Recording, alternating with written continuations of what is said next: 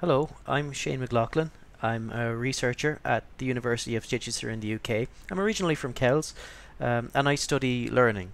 And I'm hoping that I can do a research study at the school, um, at your school.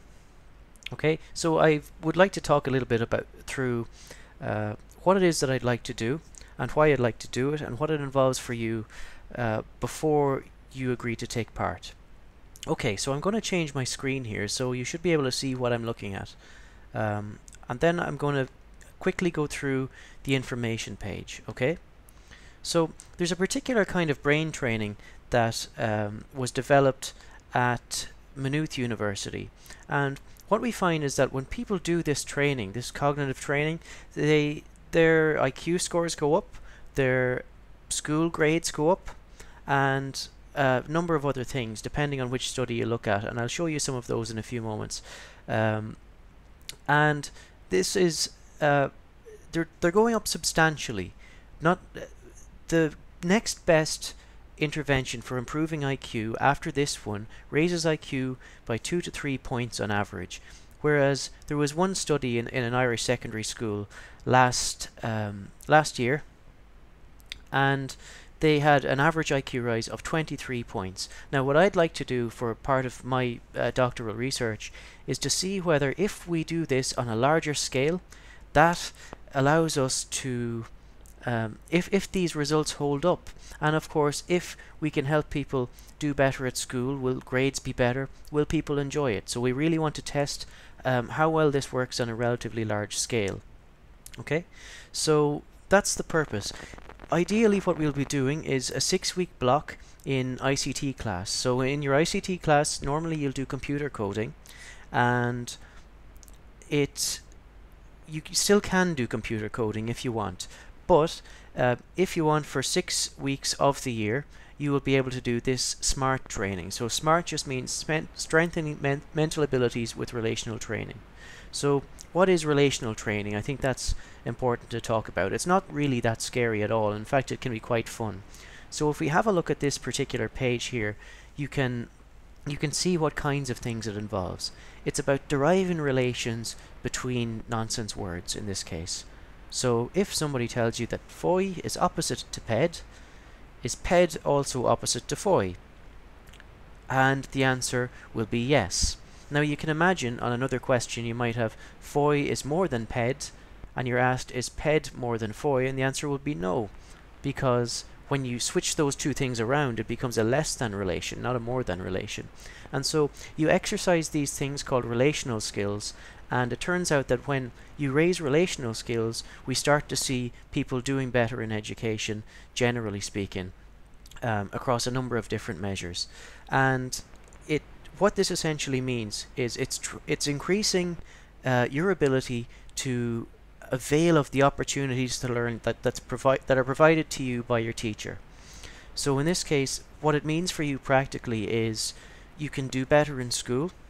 Um, it will mean that with the same amount of effort, you can learn more things, or with um, with less effort, you will learn uh, the same amount of things okay so it really is designed to make your life easier and it takes the format of a kind of a an online game. And like almost like a game on Facebook. And it's alternative to your your coding class.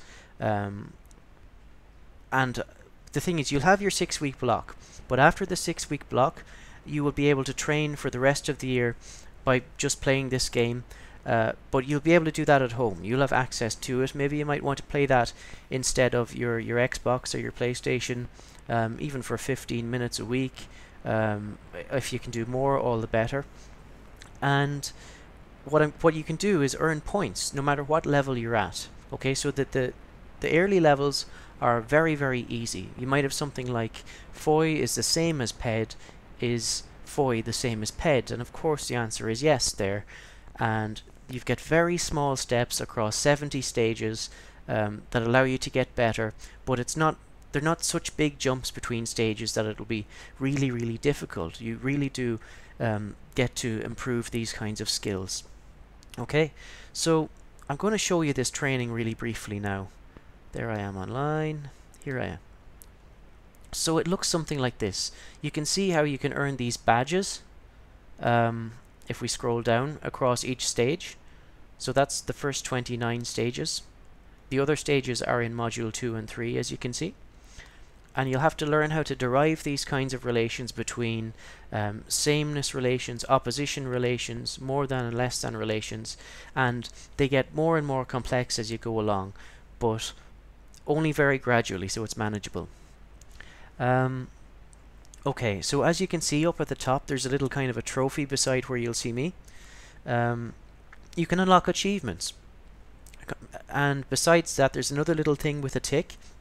That's where you can earn points. And since you don't have to do this training um, in class after the six week period, if you decide to do more at home, um, what I'm going to do is for every point that you earn in this game, I will count that as a raffle ticket.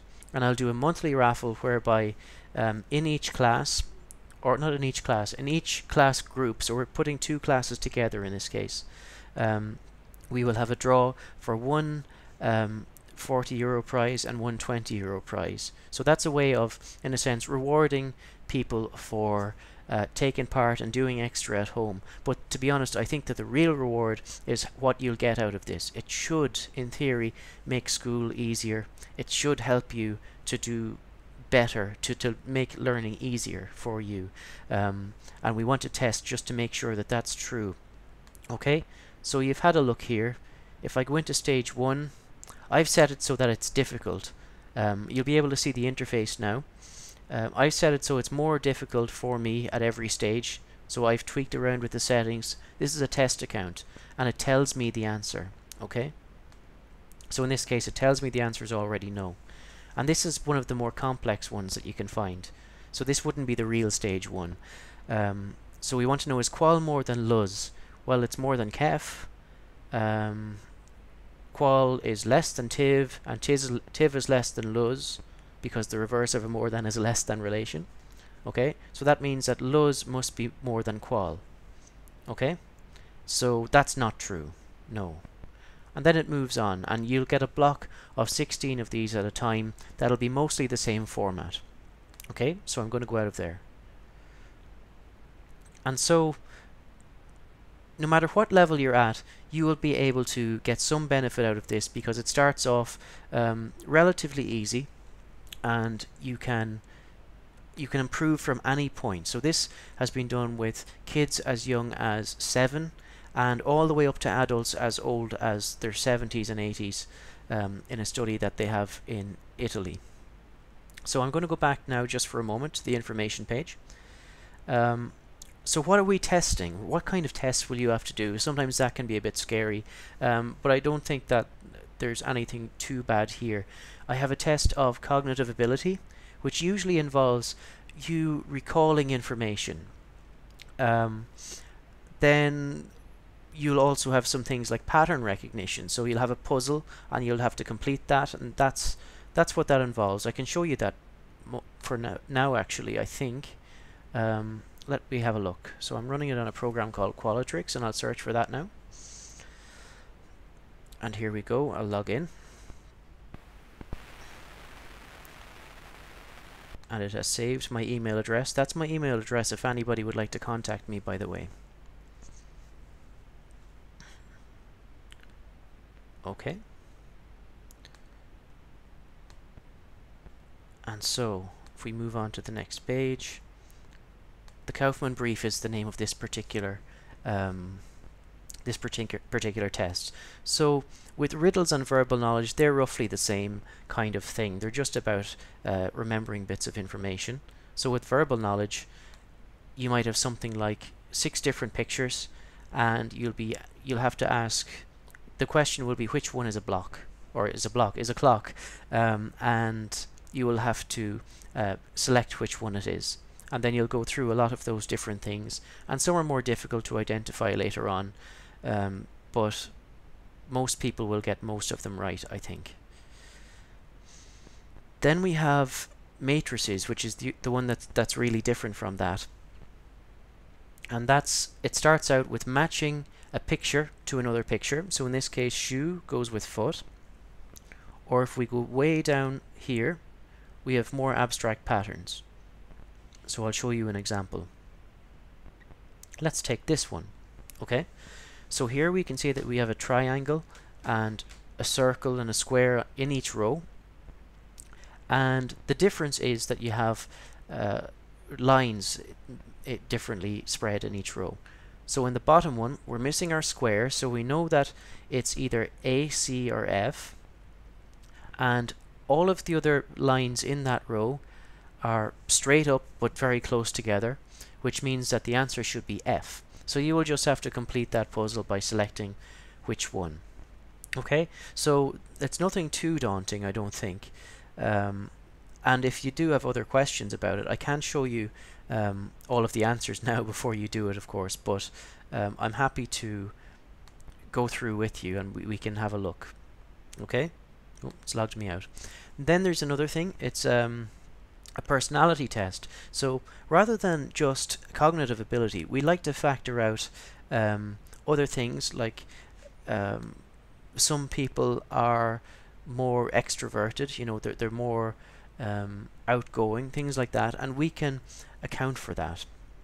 So that is a thing called the Big Five Aspects Scale. That just asks you relatively simple questions that you'll see now in a moment. And here they are. This is something you can do at home in your own time. I'll, I'll be able to send you a link like that. I get easily irritated, to agree or not. Um, I rarely lose my composure. Uh, so that's that's one thing. Okay. And then we go down here.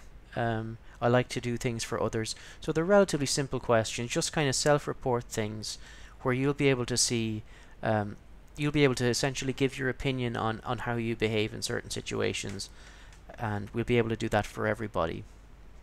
Okay. Besides that, um, we have other things, other tests like relational ability. It's it's very similar, so I won't look at it. It's very similar to what you've already seen, um, and so relational ability is just a measure of the skill that we're training and then the test is to see whether that transfers to your school grades. Does that transfer if we train relational ability, does your IQ go up? Does your um, do your school grades get better if, if you've if you've trained more? That kind of thing.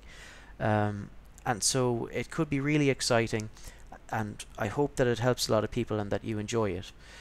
Um, okay, so I'm going to scroll down so you'll be able to see these yourself. Um, there are lots of benefits. Okay, so I'll, I'll, have a look. This is one study that was carried out in a secondary school last year. So of all the studies, this is perhaps the most relevant for a secondary school. Um, they had a 23 point average jump. So that jump was from 97 average IQ in the group to 120 as an average, which is uh, very, very high. That's the IQ that you need to study medicine, for example. Um, then you have the lowest IQ, which is 84 to 106, which is which means that you've got somebody who is, you know, maybe somebody who has a reading difficulty, for example, um, might be characterized, you know, they might score an 84, and then 106 is above normal, like above the kind of average reading level uh, above the average maths level. So you should be achieving uh, much higher then. So that that's that's a really cool thing to be able to do. And then of course, even for people with high IQs of 119 already, they go up to 140, which is where people start throwing around words like gifted and genius. So we're very proud of that so far. Um, and just not only is it effective, but people seem to enjoy it. So if I go to, for example, oh, there's me.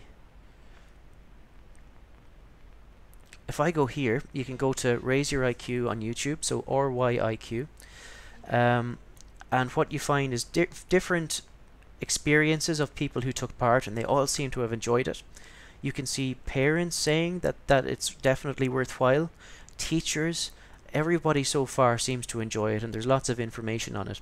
And there's a video um, of people on TV3 News and they're going through um, one study that was done in Athboy, which is not too far from you guys, and what it involves, and you can see people doing it and that they seem to enjoy it. Okay, so you'll be able to see that. Um, there's lots of videos, and of course, there are some lectures from the researchers involved for anybody that's interested in that kind of thing. Okay, so last thing is what do you have to take part? No. You can continue to do your coding class, which of course is very valuable, and you'll be doing that throughout the year anyway, generally. Um, but this is an opportunity to take part in this study if you think that it might be fun and it might benefit you. And if you want to drop out at any stage, you can do. And of course, if you want an update on how you're doing so far, you can contact me and I'll be happy to um, explain how you're doing. Okay? Um, also, you can you can talk to your teacher and and uh, talk to uh, Paul or Stephen or whoever it is that will be running your part. Oh, pardon me. And so, yeah, you'll be able to ask whatever questions you need to. If there's something you're unsure of, that's fine. Okay? So, let me see. What happens if you change your mind? You can tell me not to use um, your your data. So you can say, all right, I want my results back. I don't want them to be in, and I don't want to take part, and that's perfectly fine. Okay? So if you try it and you don't like it, that's okay. Um, what will happen? Well, nobody will know your results apart from me and my supervisors. I've only got four. Um, so they'll be um, researchers here at the university. Um, besides that, uh, your school will have a look at certain results if that is relevant. Um, so in other words, we'll try not to talk about individuals unless there's a particular problem or something, but we don't think that'll happen because people tend to enjoy this. Um, but we want to let the school know how the group are doing generally. Okay, so besides that, um, all your data will be con uh, confidential. We won't publish any of this data any of this information that you give us from your test results um, anyway publicly unless it's completely anonymous in a research paper for example okay? So you don't have to worry about that. Um, do get in touch if you're interested in taking part um, or not if you're interested in taking part if you have any questions. And I'll be happy to Skype with anybody if there are any phone calls that anybody would like to make or I will be over and back to Ireland quite frequently because uh, my family live very nearby so I can meet with people and I'm very very open about what we're doing here and I want to make sure that everybody's comfortable and and is enthusiastic about it like I am and like um, like the rest of the researchers on this team are. Okay, thanks for taking the time. I hope that you enjoyed this little introduction and I hope to speak to you soon.